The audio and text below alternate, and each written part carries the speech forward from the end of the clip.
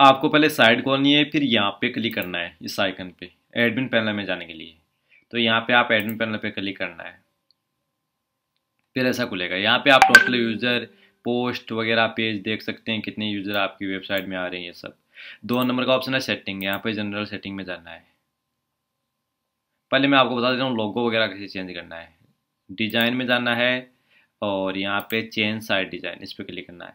जो ऊपर छोटा सा फेसबुक का ये लोगो आता है ना इसको फेविकॉन कहते हैं। इसको आप यहाँ से चेंज कर सकते हैं और लगा लगा के देख सकते हैं। पीएनजी फॉर्मेट में करना आप, है ना?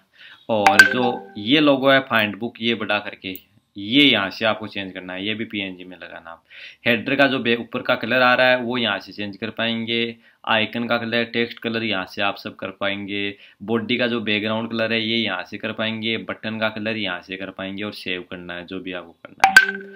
आपको थीम बदलनी है। अभी जैसे थीम आ रही है, वो नहीं चाहिए, ये दूसरे वाली चाहिए। तो यहाँ पे एक्टिव करते ही वो थीम आ जाएगी। वो वंडर सेट के। और ऑप्शन मैं आपको बता देता हूँ। सेटिंग में जाना है। आपको चाहिए कि कोई लॉगिन यूज़र लॉगिन वगैरह नहीं कर पाए तो यहाँ पे आप डिसेबल कर सकते हैं।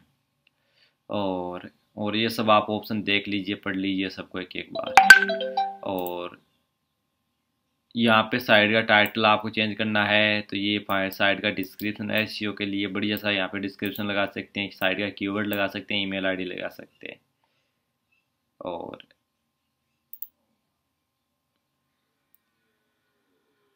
यहाँ पे ये गे साइड बार में जो भी गेम वगैरह का ऑप्शन आ रहा है, वो आप डिसेबल अनेबल कर सकते हैं। फोरम का जिप का, ये सब आप अनेबल डिसेबल कर सकते हैं।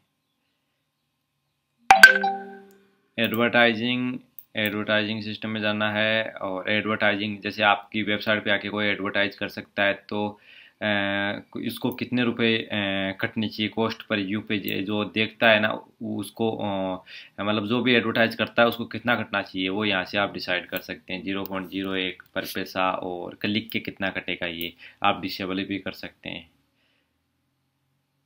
और मेरा अभी नेट डिस्कनेक्ट हो गया तो मैं वो आगे बता नहीं पाऊँगा। आप सबको ये फीचर्स हैं, इनको एडिट कर क्लिक कर कर, करके देख लीजिए लैंग्वेज वगैरह सब ईजी है कोई बड़ी बात नहीं है। सब आप यूज़र्स वगैरह टूल में सब एक एक बार सब पे क्लिक करेंगे तो आपको सब समझ में आ जाएगा।